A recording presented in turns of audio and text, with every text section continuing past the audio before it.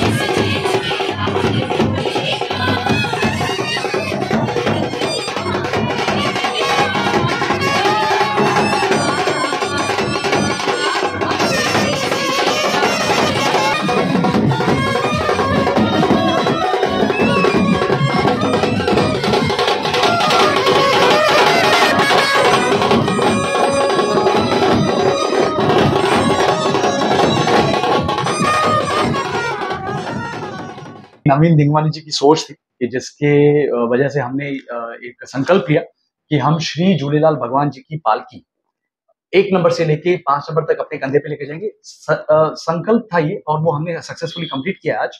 इसका उद्देश्य एक ही है, जो हम सिंधी जो सिंधियत है ना, जो यूथ है ना, वो कहीं ना कहीं डिस्कनेक्ट हो रहा है। हमको आज नई पीढ़ी, नई सोच के एक उद्देश्य के साथ हम नई पीढ़ी को आज हमारे साथ जोड़ना चाहते हैं कि आज अगर हम यूथ हैं हम श्री झूलेलाल जी के साथ जुड़ना चाहते हैं। जुड़े हुए हैं बट कहीं ना कहीं वो डिस्कनेक्ट है।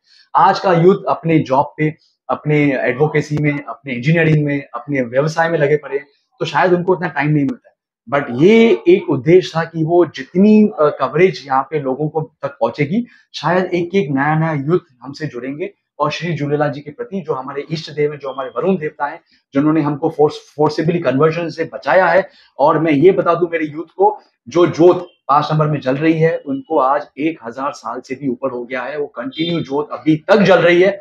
उस जोत में जो मैजिशियन है, जो पावर है, शायद वो हम तक कहीं ना कहीं धीरे हो गई है पहुँचने में। बट हम चाहते हैं कि हम वो माध्यम बने। युद्ध के साथ युद्ध के प्रति वो जोत का जो बेनिफिट है झूलेलाल भगवान जी का जो एक उद्देश्य है झूलेलाल भगवान जी के प्रति जो हमारी भावना है वो पहुँचाने का काम कर रहे थे। वो उद्देश्य हमारा कहीं ना कहीं सक्सेसफुल होते दिख रहा है। तो ये हर साल निकलने वाली है कि इसी साल में मैं ये बता दूँ ये भी नवीन दिंगवानी जी की सोच है कि पहली यात्रा है पालकी यात्रा उल्लासनगर शहर में या पूरे भारत में या पूरे विश्व में कि जो पालकी यात्रा झूलेलाल भगवान जी की निकली है ये हर साल निकलेगी। ये जिस मैग्नीट्यूड से आज हम कंप्लीट कर चुके हैं उससे डबल ट्रिपल मैग्नीट्यूड से कमिटी फॉर्म करके हम और अच्छे तरीके से कवर करेंगे। और हर साल होगी। देखिए, जैसे हम हमारे हिंदू धर्म में काफ़ी सारे देवी देवता हैं। तो जैसे सही बाबा जी की हम लोग पालकी निकालते हैं और गणपति भगवान की हम लोग पालकी निकालते हैं। तो हमने ये सोच रख के ये पालकी को स्टार्ट किया कि हमारे जो इष्ट देवता है, वो झूललाल भगवान है। तो उनकी भी हम लोग को पालकी निकालनी चाहिए। हम लोग इसके लिए ये फ़र्स्ट टाइम हमने स्टार्ट किया कि हम लोग एक नंबर से पाँच नंबर तक पैदल पालकी यात्रा निकालेंगे। साल अपने निकालता कितने लोग इसमें जुड़े हुए थे? इसमें लगभग 800 से 900 लोग हमारे साथ में यहाँ से जुड़े थे हम्म। जो आखिरी तक हमारे साथ में हम्म। लोग जुड़े हुए थे। तो हम्म। मैं सभी शहरवासियों का बहुत ही धन्यवाद कहूँगा कि सभी ने इस पालकी को बहुत ही ज़बरदस्त रिस्पॉन्स किया। हर साल हम लोग ये पालकी निकालेंगे। अंत में सबसे बड़ी थैंक्स भगवान झूलेलाल को क्योंकि आपने देखा होगा पिछले दस दिनों से जो गंगोर बारिश थी बट कल वरुण देवता ने झूलेलाल भगवान जी ने हमारे इष्ट देवता ने हमारे रास्ते क्लियर कर दिए। बारिश कंप्लीट बंद थी और जैसे ही हमारी यात्रा पूरी हुई बारिश फिर चालू हो गई। हालाँकि तो, फोरकास्ट में दिखा रहा था हाँ, हाँ, कि हाँ, बारिश होगी वो थैंक्स बट फिर भी नहीं हुई। थैंक यू जय झूलेलाल जय झूलेलाल कोनार्क अपना शहर अपनी बातें।